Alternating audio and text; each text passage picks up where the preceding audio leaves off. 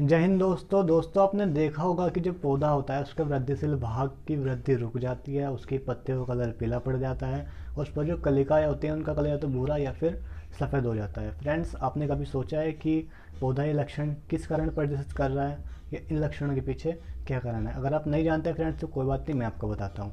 Friends, पौधों में एक तत्व होता है बोरान। बोरान की कमी के कारण ये जो पौधा है, इन लक्षणों को प्रदर्शित करता है। फ्रेंड्स क्या आज से पहले एग्रीकल्चर का इफ़ेक्ट आप जानते थे और अगर नहीं जानते थे तो आप हमें कमेंट बॉक्स में कमेंट करके बताइए कि आपको हमारा इफ़ेक्ट कैसा लगा।